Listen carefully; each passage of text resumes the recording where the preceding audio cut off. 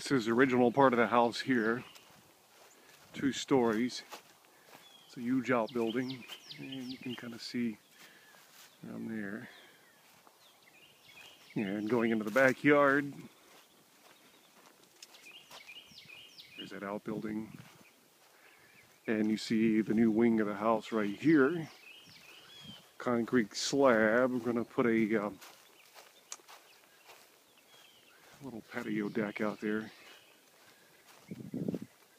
The well pump.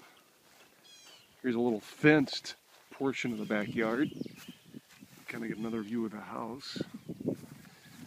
And more of that fenced in yard. It's the back of the property here.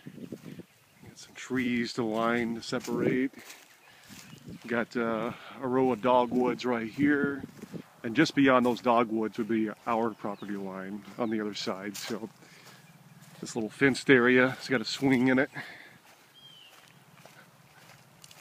Again, the property lines on the other side of these dogwoods right here, starting to bloom.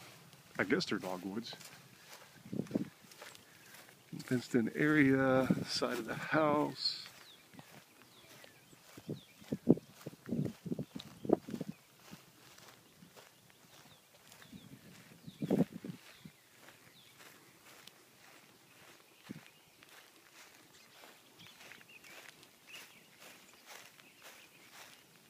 And I'm walking near the little road here. There's the house there. You can see it's kind of nice and shaded and tucked away. You can't see part of it because of a nice shade tree there.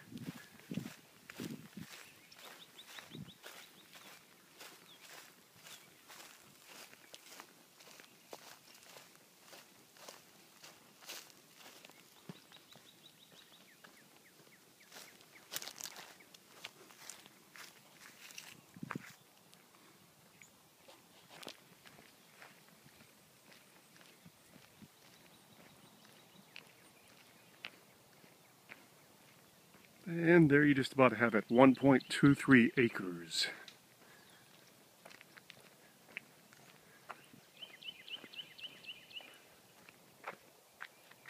There's the edge. Again, the tr trees really make the house a little bit secluded, which is really neat. One angle a yard and another angle a yard. There you have it.